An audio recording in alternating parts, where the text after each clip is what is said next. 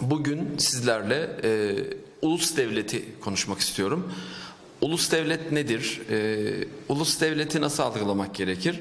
Özellikle Fransız ihtilalinden sonra yoğun bir şekilde dünyanın e, ve ne yazık ki bizim de gündemimize giren ulus devlet aslında e, birazdan inşallah izah etmeye çalışacağım gibi e, bütünle yanlış anlaşıldı diyebilirim. Fransız ihtilaliyle merkezi imparatorluklar parça parça edildi. Ulus devlete ulaşabilmek, ulus devlet olabilmek iddiaları e, çerçevesinde e, bunlar yapıldı.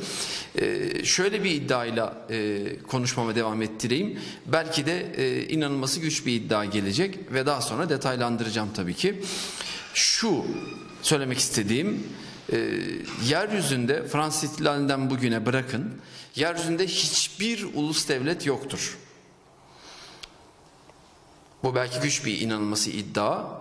Efendim evet tekrar ediyorum yeryüzünde hiçbir ulus devlet yoktur. Bunu fantastik olsun diye söylemiyorum. Eğer gerçekten de ulus devlet yoksa ki gerçekten yok o zaman bu kadar milyonlarca insan niye öldü? Ulus devlet ideali çerçevesinde milyonlarca insan neden öldü? Gerçekten bir e, boş bir amaç için adeta argo bir ifadeyle pisi pisine derler ya ne yazık ki öyle. Bakın şu şekilde izah etmeye çalışalım. Ulus devlet gerçekten var mıdır yok mudur? Bir kez ulus devletin tanımına bakalım. Aşağı yukarı birbirine benzer e, değişik tanımlar yapılır. Tanımın ana merkezini, ulus devlet tanımlarının ana merkezi ne oluşturur? Efendim bir ideal çerçevesinde, bir hedef birlikteliği çerçevesinde, bir amaç çerçevesinde, bir inanç, gönül birlikteliği çerçevesinde ortak bir dili söyleyenler var, ortak dille konuşanlar diye var. Bir ulusun varlığı temelli efendim bir yapılar var. İşte birkaç ulus vardır. İşte efendim daha kalabalık olan bir ulus, Fransız ulusu mesela temelli e, oluşan yapılara ulus devlet e, diye denir diye bir tanımlama var. Yani burada ortak dil olacak, ortak hedef olacak, ortak kültür olacak, e, inanç birlikteliği, geçmişten ve geleceğe dönük böyle birliktelikler olacak. İşte buna ulus devlet denir şeklinde bir tanımlama var. Şimdi bakalım. Yeryüzündeki ulus devlet diye tanımlanan devletlere bakalım. Mesela bırakın büyük devletleri, Fransa'yı, İngiltere'yi bir kenara bırakın. Bunlar asla ulus devlet değil. Fransa bir ulus devlet midir yani bu söylenebilir mi? Fransızca konuşulması ulus devlet olması için yeterli midir?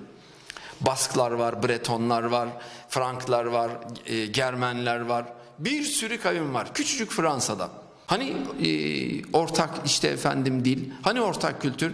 Cezayirlerin, Tunusluların yüzlerce yıldır Fransızlarla birlikte yaşıyorlar. 1830'dan efendim e, bugüne 1830'da işgal ettiler orayı biliyorsunuz Fransızlar.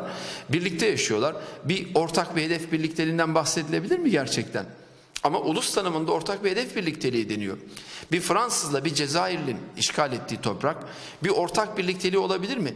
1830'dan sayın 2020'ye 210 e, sene, yani 190 senedir birlikte yaşıyorlar. Efendim ortak birliktelik, ortak hedef fazlasıyla oluşmuş olması gerekir.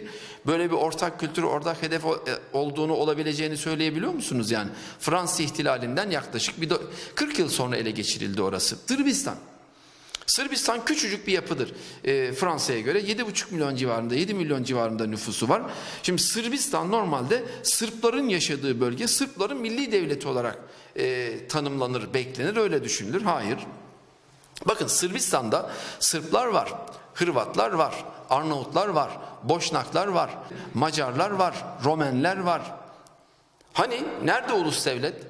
Vojvodina'da e, Macar azınlık var. E, Preşava bölgesinde Arnavutlar var.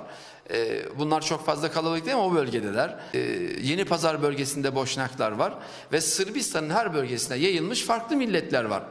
Hani nerede? Ya bu milli bir devlet midir? Kuzey Irak Kürdistan diye de tanımlanır. Ee, Kuzey Irak'ta sadece Kürtler mi yaşar? Bakın Kürtler var. Türkler var.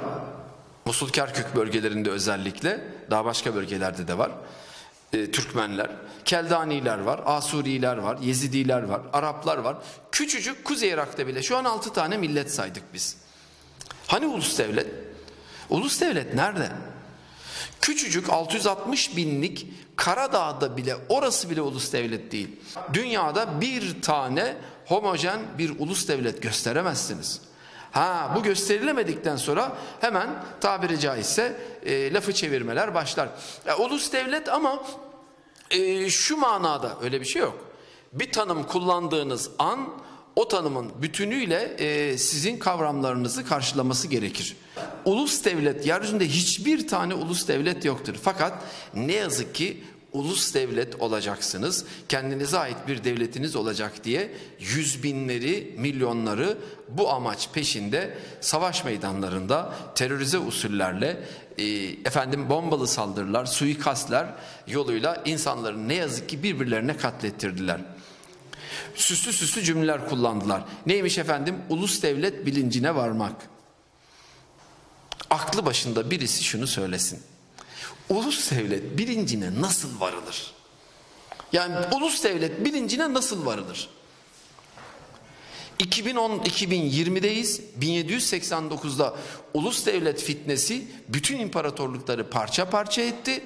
Efendim milyonlarca insan öldü. Hala ulus devlet söyleniyor ve siz bana da sorun muhatabınıza da sorun. Ulus devlet bilincine varmak nedir ya? Örneksiz bulun gösterin o zaman. Yok. Hepsi birer mikro imparatorluktur. Bunlar büyükken de böyleydi. Ulus şehir bile yoktur. Ulus mahalle bile yoktur. İnsanlar farklı milletlerden insanlar iç içe geçmiştir ve insan gibi birbirleriyle yaşarlar ve ulus devlet kurma gibi sorunları da yoktu. Fakat bu fitne bütün insanlığı birbirine düşürdü. Ne yazık ki boş bir ideal, boş bir hayal çerçevesinde 1789'dan beri ne yazık ki insanlar ulus devlet olacağız, ulus devlet olacağız, ulus devlet olacağız diye birlikte belki o zamana kadar senelerce yan yana yaşadıkları, aynı sokaklarda, aynı köylerde, belki aynı apartmanlarda birlikte yaşadıkları farklı milletlerden, farklı lisanlardan, farklı inanışlardan insanların boğazlarına sarıldılar. 100 yıl savaşsalar, 200 yıl savaşsalar, 500 yıl savaşsalar ulus devlet yine olmayacak. Çünkü insanlar birbirleriyle karışık halde yaşıyor ve insanların ulus devlet diye normalde gerçekte bir idealleri de yok. Bizim ulaşacağımız e, sosyal medya kanalları, efendim dijital kanallar belli. Bana ulus devlet örneği söyleyin. Ne yazık ki yok ve olmayacak.